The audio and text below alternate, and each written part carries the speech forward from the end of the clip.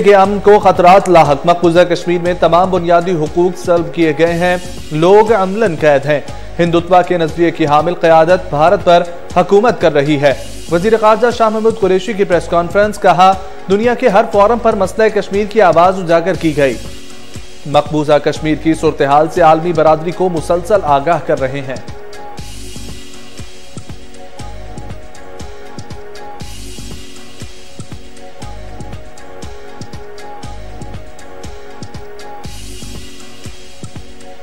کامیابی کے لیے پیچھے مڑنے کا کوئی راستہ نہیں۔ نظریات کے بغیر قومیں تباہ ہو جاتی ہیں۔ اکثر لوگ مشکل میں ہمت ہار دیتے ہیں۔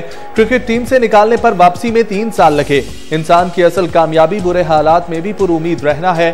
وزیر اعظم عمران خان کا ڈیوس میں پاکستان بریک فاسٹ میٹ کی تقریب سے خطاب۔ کہا، بھارت پاکستان کے مقابلے میں سات گنا بڑا ہے۔ ہم نے کئی بار شکست دی۔ بڑے ہدف کو پانے کے لیے آپ کو اپنی کشتیاں جلانا پڑتی ہیں۔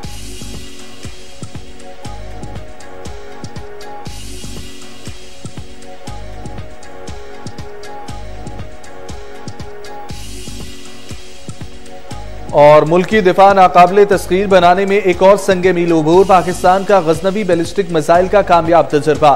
میزائل دو سو نبے کلومیٹر تک ہر قسم کے وار ہیڈ لے جانے کی صلاحیت رکھتا ہے۔ غزنوی میزائل زمین سے زمین تک ہدف کو نشانہ بنا سکتا ہے۔